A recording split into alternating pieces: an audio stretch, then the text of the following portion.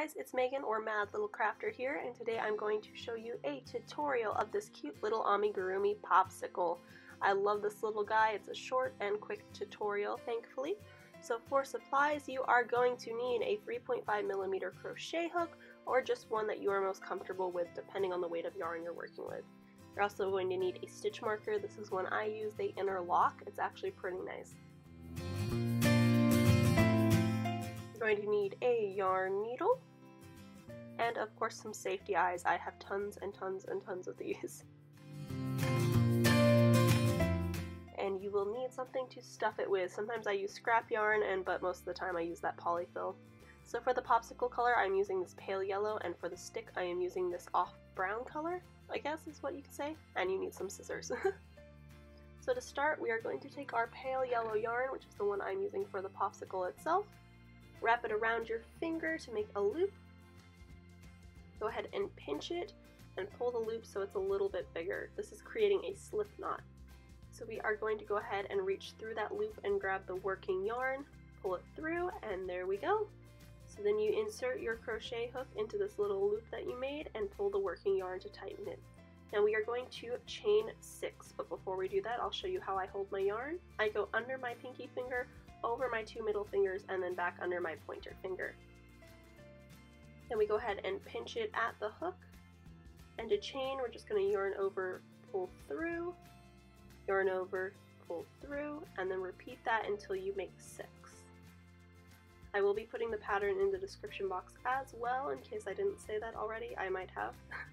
Sorry if I sound off today. I am pretty sick and I'm getting over it. This is the first time I've been able to do a voiceover.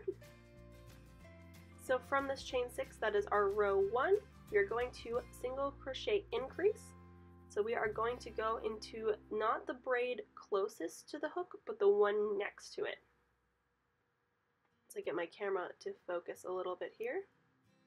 So we're going to insert into that little braid right there. Make sure two loops are on top and one is on the bottom when you insert, insert your crochet hook. Gonna yarn over, pull through, so we have two loops. Yarn over, through both of those loops and now we only have one on the hook.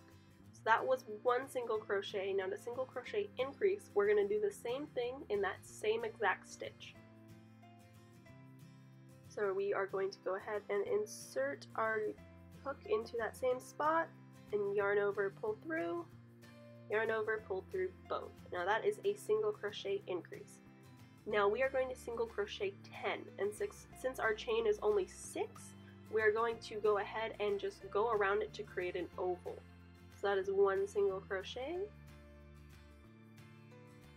two, then I will tell you to do what to do once we get to the end of it.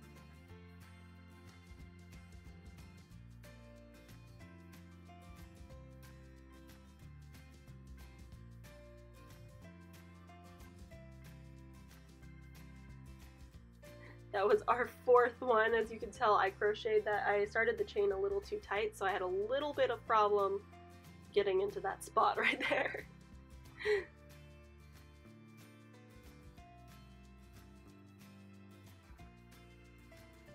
Alright, so that was our fourth single crochet. Now the fifth one I'm going to do in that exact same spot, but I'm going to hold the chain so it's vertical, so that way we start creating this little oval shape. There is our fifth single crochet. If at any time you need to pause and catch up, go ahead and do so. If I can remember to hold my stuff in frame. There we go. So now we are going to go ahead and go over the back side of that single crochet line we just did. So you're going to only have one piece of yarn over your hook when you insert it. So there is single crochet number six.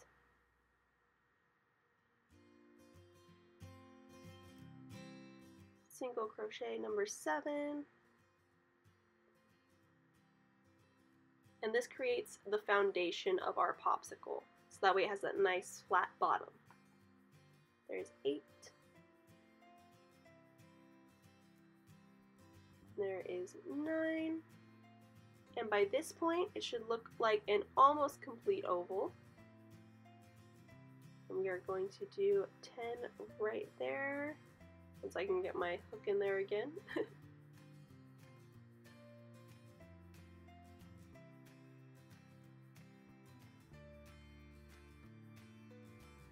there we go. And there is 10. So there is our oval. This is what your strip should look like by now. It's kind of an oval, but we don't have the roundness on the other end yet.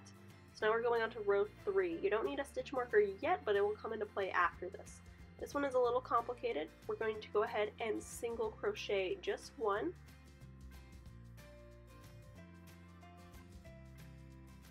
Then we're going to single crochet increase into the next space. So that is two single crochets into the same stitch. There is one, and then there is two. Now we are going to single crochet three stitches next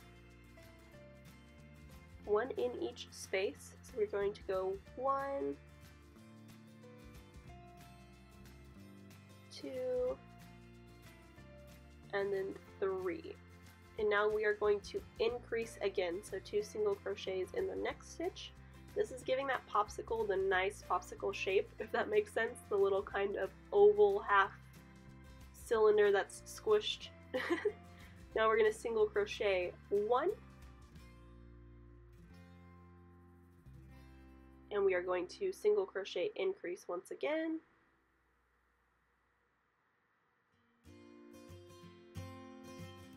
Single crochet three.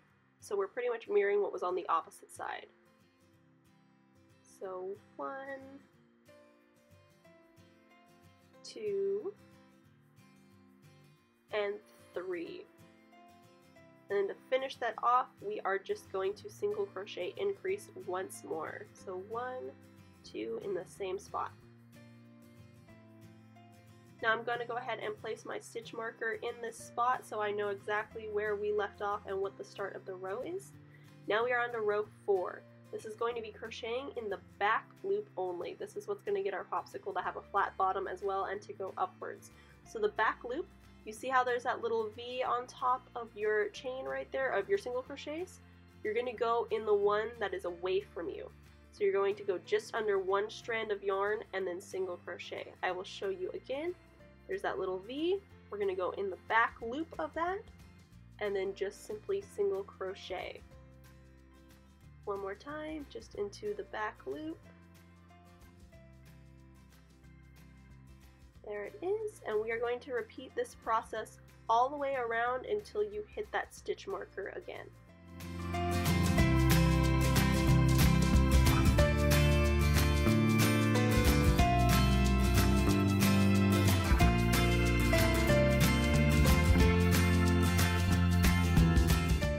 Alright, once you're close to that stitch marker, go ahead and take it out. Do one more single crochet in the back loop only where that stitch marker was and then we are going to go ahead and pop that stitch marker back in. Now we are on to rows 5 through 11, and let me tell you something, they are the exact same thing, which is very nice. We are just going to single crochet all the way around until we hit that back loop. So I'm going to go ahead and just jump, um, until we hit that stitch marker, I'm sorry. so I'm just going ahead and jump back once I get to row 11, and we are ready to move on to row 12 once I know how to actually crochet. There we go. so this is just row 5 to clarify that again. So row 5, then it will be 6, 7, 8, 9, 10, 11. So here I am finishing row 11. You'll see my popsicle has grown to be a popsicle shape. I'm single crocheting in that last stitch and then popping my stitch marker back in. And then at this time, I'm going to go ahead and add my eyes. I pull up the working yarn that I was working with so that way it doesn't get in the way and I don't lose any stitches. I grab my eyes and I kind of just mess with the placement a little bit. I like to put them kind of off to the side of the popsicle. Now safety eyes, you got to make sure they're where you want them when you commit because once you put that little washer on, there is no getting them off without scrapping your whole project and starting again. I have been in that situation. So I pop them in first take a look at it, see if I like where those are. Kind of stretch it out so you know what it's like when it's stuffed. And then go ahead and you pop that washer on the back. I know I don't show it well the first time, but I tried to show it a little better the second time. You just put that little washer on and pop it so it goes over at least one of those ridges on the back of the safety eye. Turn that inside out. There we go. So I'm going to take that washer, pop it on, and push it down so it locks in. And there it is. So now we are going on to row 12. This is when we are going to start decreasing. The only stitches you need to know for this thing are a single crochet, a single crochet increase, and a decrease. So now what we're going to do is we're going to single crochet one, then I'm going to do a decrease, which is where I go through the front loop. We were working with the back one before. It's just the front strand, yarn over, pull through. Then I go through the front loop of the next one, yarn over, pull through, and then I yarn over and pull through all three of those loops. So that is a decrease. So we're going to do that one more time. So we're going to insert our hook into the front loop only, yarn over, pull through, the next front loop, yarn over, pull through, and then yarn over, pull through all three. So that was two decreases. So now we're going to single crochet one, and then we are going to decrease two more times. I'm going to speed this up a little bit here and you're just going to repeat that process of single crocheting one, then decreasing two until we hit that stitch marker.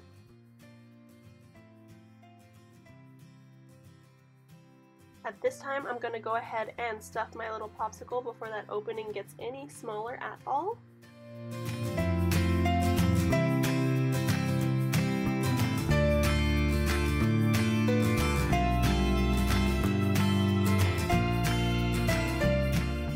Alright, and then we're going to start on our last row, which is just a single crochet and then a decrease all the way around. I don't even bother inserting my stitch marker for this because this is where we're going to close it off. So one, and then we're going to decrease. One single crochet, and then a decrease and just continue this around until your opening gets pretty small. It doesn't have to be completely closed yet because we are going to do that with the yarn needle.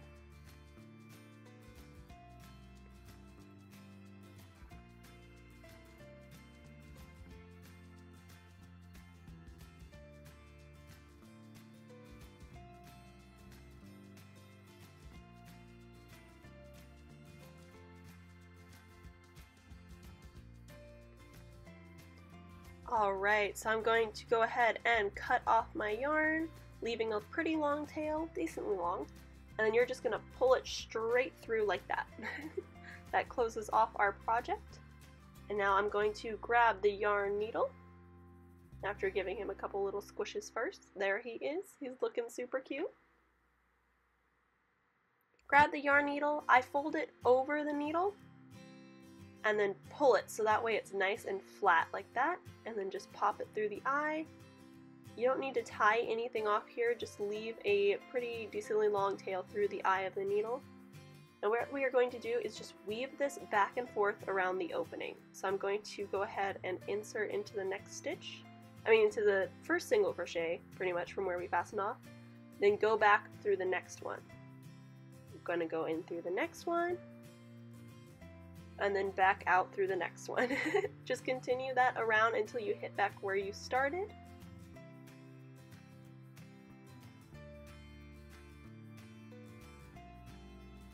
Once we're back where we started, we just pull that tightly as I will show you. There we go. And that closes off our project right there. So then I go ahead and pick a spot next to where I finished. I insert my yarn needle and then I go ahead and insert it back through that loop to kind of tie a knot. And then I do that once more so I double knot it. That way that end is nice and secure. Then I go ahead and stick my yarn needle in nearby to where I just finished. And I push it all the way through until it pokes out somewhere random. Pull the yarn all the way through. Pull it a little snug, not too too tight and then snip it off close to your project so that way that end vanishes in there. So now we have completed the main part of our popsicle. Now we're onto the stick, which is pretty easy. You just need to know how to magic ring for this and single crochet. So to magic ring, you start off like a slip knot. You pull that loop upwards, and then you go ahead and insert your crochet hook into that loop, yarn over, and pull through that loop, and then yarn over, pull through to chain one. So you're making this little hoop, go ahead and pinch it so it holds tight at your hook. Then we're going to single crochet six times into this loop. Make sure you are going over both the loop and that end of yarn that's hanging off. So we are at two, three, four. It's important that you keep that little tail end of yarn and you're working over that as well. Because what's going to happen is you're going to pull that little tail end and it is going to close that loop. Like magic. There it is. now this popsicle stick is super easy. I have it written down to do two um, through five rows, but really just single crochet around it until it gets to the length you want it. It's however long you want this popsicle stick. I kind of measured it. You're not increasing or decreasing anything, you are just single crocheting around this little loop.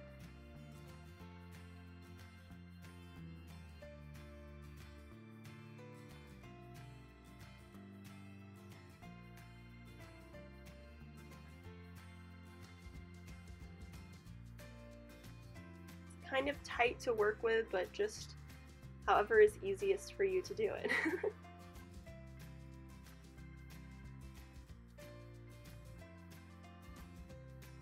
I also like to snip off that little end because we're not going to stuff it at all, so that little end of yarn can just get in the way.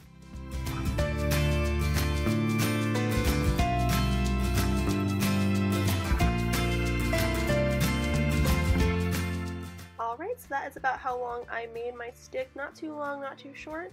I'm going to go ahead and fasten it off the same way I did the popsicle, leaving a decently long tail because we are going to sew it on. You go ahead and just flatten it, no need to stuff it at all. We're going to grab our yarn needle once again, and I'm just measuring it to make sure it's where I want it, right in the middle of the popsicle there.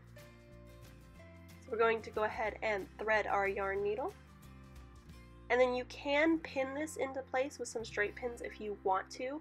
I've made tons of these, so I'm pretty good at just eyeballing where I want the stick to go because I know exactly where it needs to go on those little loops at the bottom.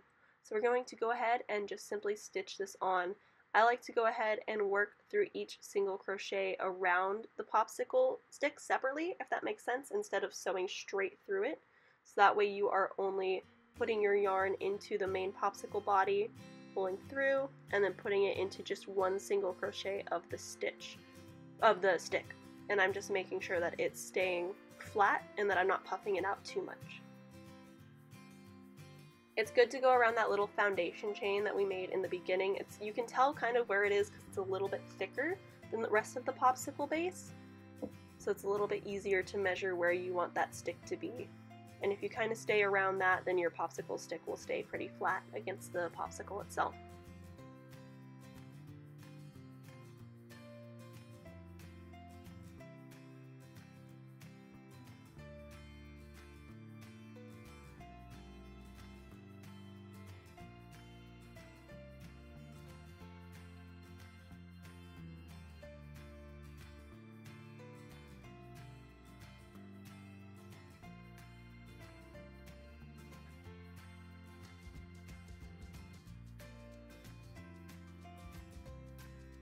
Alright, and I'm going to go ahead and knot off the yarn the same way I did when we closed the popsicle itself by making a little loop and then inserting my yarn needle back through that loop as well. Then I'm going to go ahead and once again poke that yarn needle all the way through in a space that I can find that it will fit. so it pokes out somewhere random, go ahead and pull that snug and snip off close to your project.